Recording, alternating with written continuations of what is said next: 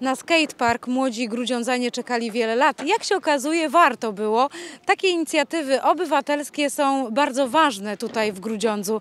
Dzisiaj uroczyste otwarcie tego mm, e, placu, gdzie będą mogli wykonywać różnego rodzaju triki, ćwiczyć e, na deskorolkach, na specjalnych wyczynowych rowerkach. A to jak e, mm, potrafią i co potrafią tutaj robić, już za chwilę w programie. To jest skaner Grudziądza. Sylwia Jarmąkiewicz, zapraszam.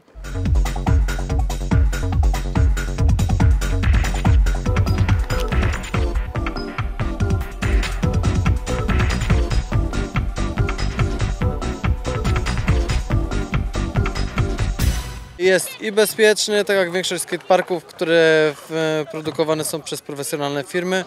Jest, e, w, czy jest nowoczesny? Jest, e, jest zalążkiem na pewno czegoś, e, czegoś fajnego, co się już zaczyna w Polsce dziać. To są już coraz większe obiekty. Może to nie są jeszcze tego typu obiekty, jakie powstają w dzisiejszych czasach na świecie, ale tam są angażowane dużo, dużo większe środki, więc cieszymy się z tego, co jest.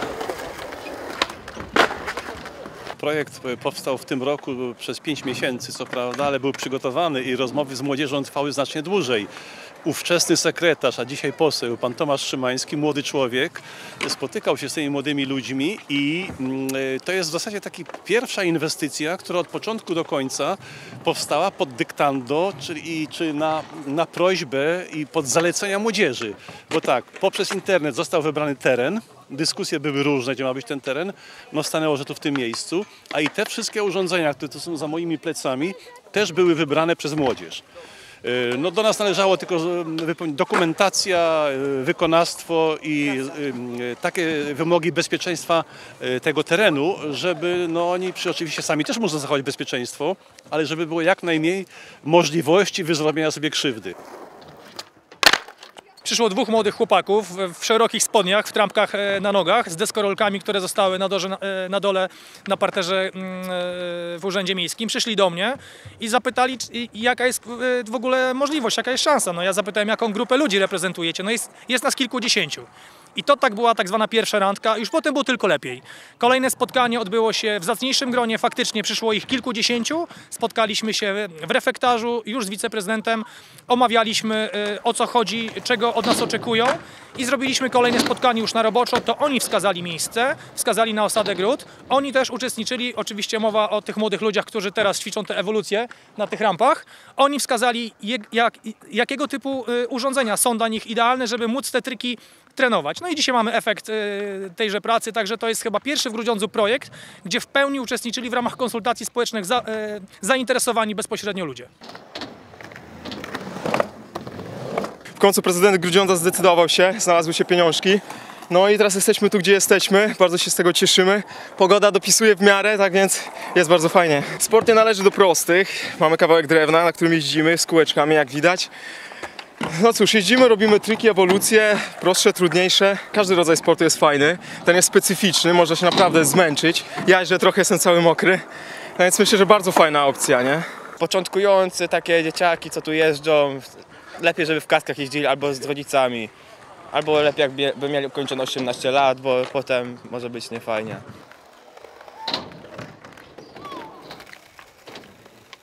Dzieci powinny być pod opieką dorosłych e, przez cały czas, tak samo na tym skateparku. E, czy one mogą tutaj przychodzić? E, to nie jest plac zabaw, to jest skatepark. To jest miejsce, w którym deskorolka może uciec spod nóg i uderzyć w przejeżdżającą obok osobę. I jeżeli ona nie jest na tyle skoordynowana, żeby uciec, no to może się to słabo skończyć.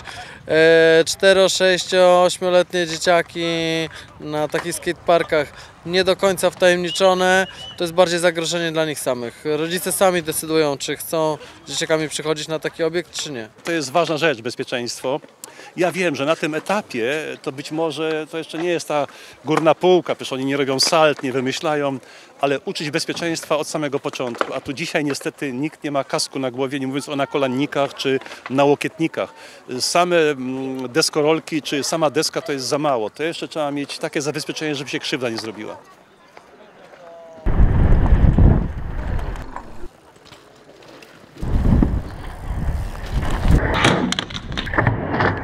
Mnie zawsze bardzo cieszy fakt, że przybywają takie miejsca i cieszę się też, że my będziemy właśnie zarządzać skateparkiem.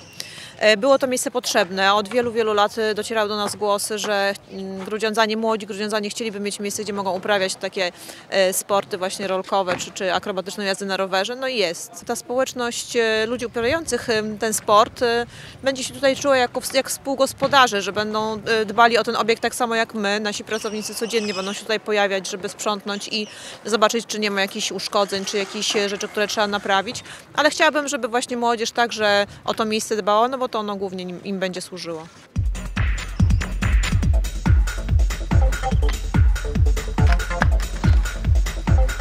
To wszystko w programie Skaner Grudziądza. Na kolejne wydanie zapraszam za tydzień.